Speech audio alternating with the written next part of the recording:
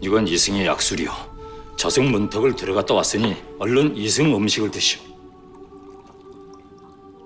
고맙습니다.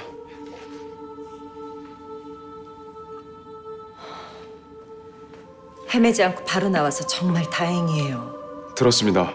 저승으로 가는 길은 이곳과 시간이 다르게 흐르고 기억을 잃을 수도 있다고요. 잠깐 딴 세상 다녀온 것 같은데 30년이 흘렀더라.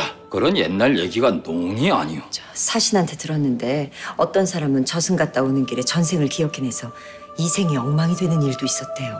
전생을요? 그 집에 거기서 뭐 이상한 거 보거나 그런 거 없어?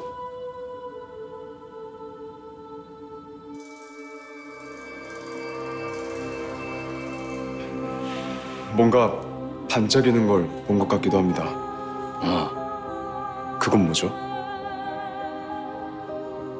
우리도 안 들어가 봐서 모르고. 죽은 자보다 산 사람이 먼저 구경을 했구려. 그런데 어떻게 바로 돌아 나왔나요? 쉽지 않다던데. 사실 나온 기억이 없습니다. 정신 차리고 보니 바뀌었습니다. 기억을 잃었구만. 얼른 약수를 더 드시오.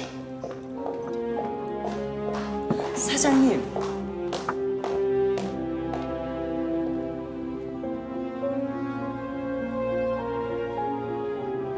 아이가 저승차를 타고 가는 줄 알고 세워보려다가 들어가 버렸어요. 아이도 무사하고 나도 괜찮으니까 화내지 말아요.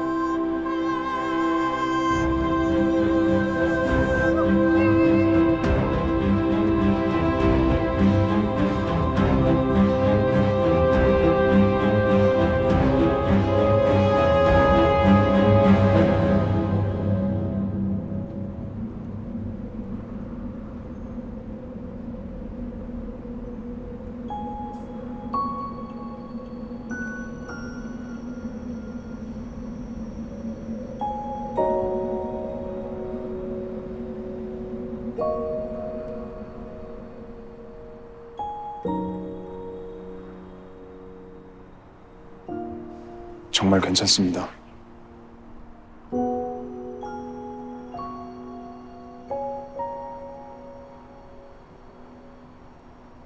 그냥 부천성인데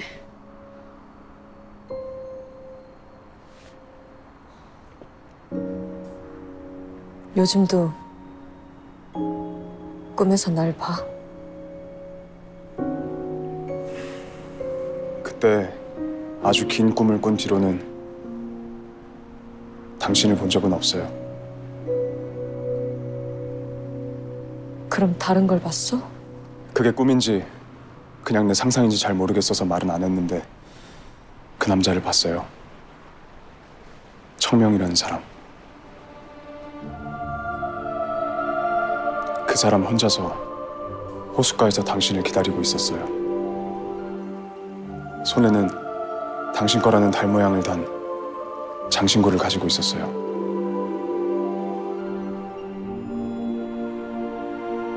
혹시 그런 선물을 받은 적이 있나요?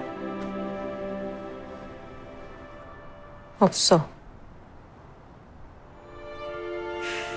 당신을 들여다보는 게 아니라면 그 꿈은 뭘까요?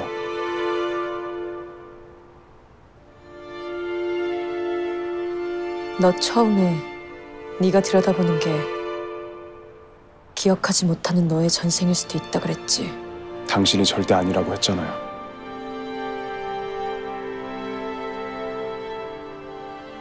그래. 절대 아니야. 송아랑 연우가 생각지도 못하게 엮인 걸 보고 많이 불안해요. 그 사람도 그렇게 올까 봐. 난 그렇게는 못 엮지. 그들은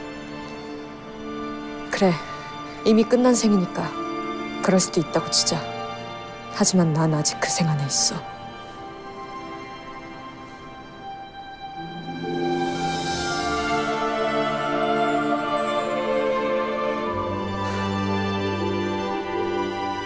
내가 연우랑 그 여자가 같이 있는 걸 보고 잠깐 이상한 생각을 했던 것 같아.